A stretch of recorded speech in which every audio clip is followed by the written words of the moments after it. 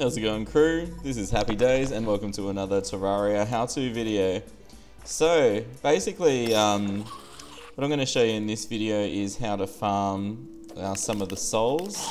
So when you first start in hard mode, you'll notice that some of the monsters drop uh, souls of night, like we just saw there.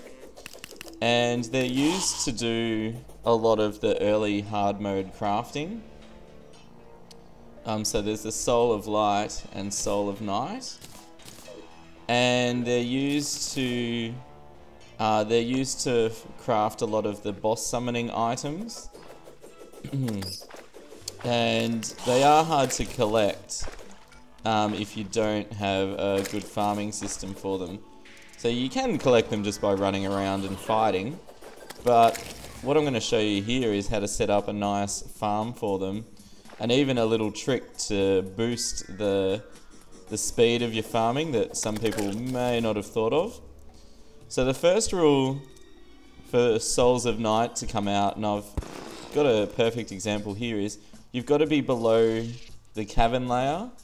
So when you first go underground, there's this lighter coloured wall, and you can see it's got little flakes of green in it. Um, sorry, I'll just kill this. Go away. You're interrupting the video. Okay.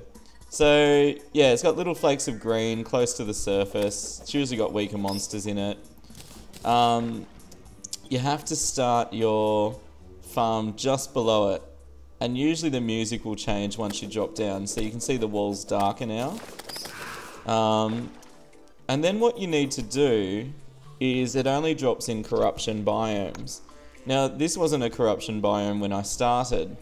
Um, you can still see little patches of dirt and the walls are still normal coloured. So this isn't actually a corruption biome, but I've made it into one. And I'm going to show you how to do it. It's actually pretty easy um, once you get to it. So the first thing I've done is um, I'm a bit later in the game at the moment, um, so I'm just going back and filming some videos. That's why my equipment seems a bit bit overpowered for where we're up to. So you need one of the faster drills. So you can do it with the cobalt drill, the mythril or the adamantite. And this used to be all stone in here. So it was all filled in. And all you do is, once you've got the quicker drills, you can just get the drill and literally... Oh, I got confused by the bat, sorry. okay, the drill pretty much makes... You can see how quickly and the cobalt drill is not much slower than this. So you can see clearing out an area is not going to take that long for you. So clear out a fairly decent portion of a room. And then what I went and did after that is I took just stone and I went down underneath and I was filling in filling in gaps at the bottom of the screen. And you probably think, well, what's the point of that? And what you actually want to do is you want to give the enemies less room to spawn in. So the more off-screen room you fill in, the more likely the monsters are to spawn right near you. So as you can see, I haven't filled in this bottom bit so they can spawn down there.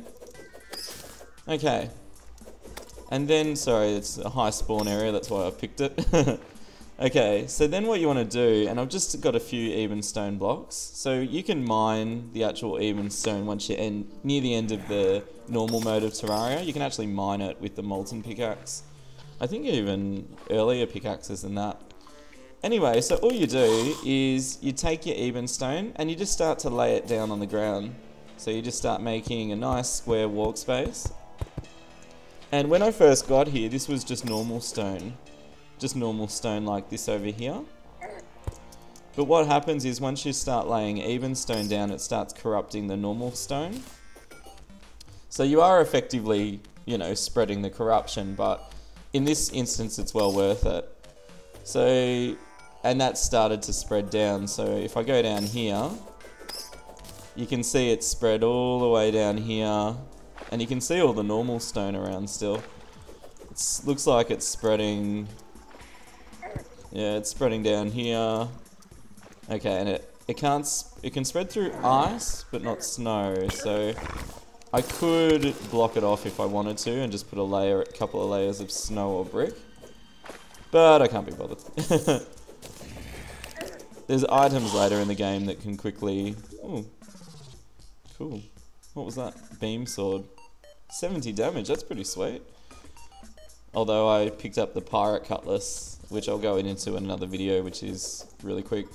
Okay, so I'll just mine that off, because I like the nice walkway.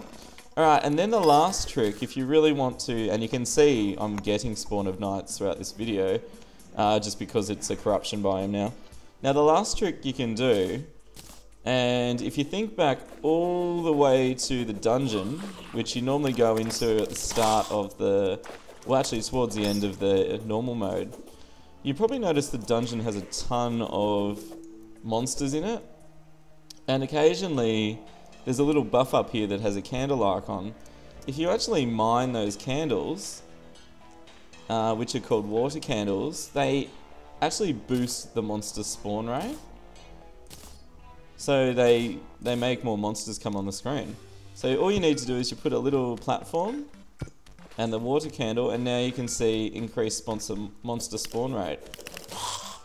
So now if I just walk back and forward, there's actually going to be well, it was already fairly high, but there should be more monsters now. And then basically, yeah, you just sort of walk around, fight, fight monsters, and yeah, over time, uh, you're going to get your Soul of Night, a Soul of Light came up there. It was away from the corruption. Ironically, it looks like the spawn rate's dropped since I planted that candle. That's funny.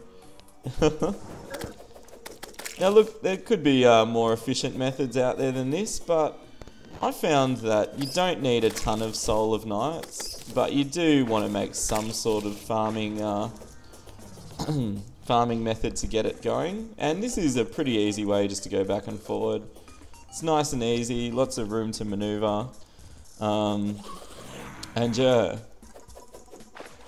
So to get it started officially, I'm going to turn that back off. It's uh, see if tweaking it helps. To get a corruption biome started, you actually need 200 blocks of corruption of Ebonstone. So when I got started, I just put 200 of these purple blocks there, and that officially made that area a corruption biome.